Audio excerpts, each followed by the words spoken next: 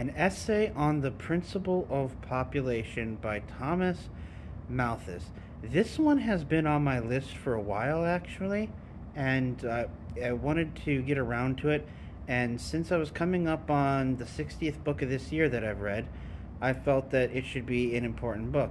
For those of you who aren't aware of Malthus or who Malthusians are, they're essentially people who believe that the human population has to uh, be checked because human populations will grow exponentially, whereas food subsistence, I'm going to mispronounce this, can only grow arithmetically.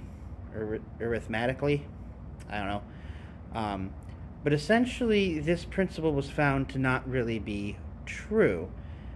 And but it didn't stop it from taking like wildfire even to scientists.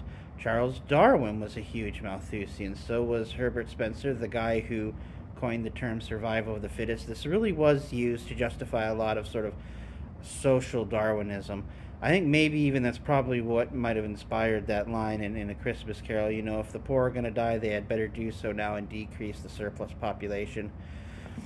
So, this was a very influential book, and like I said, though, it just does not hold up to any type of scientific scrutiny.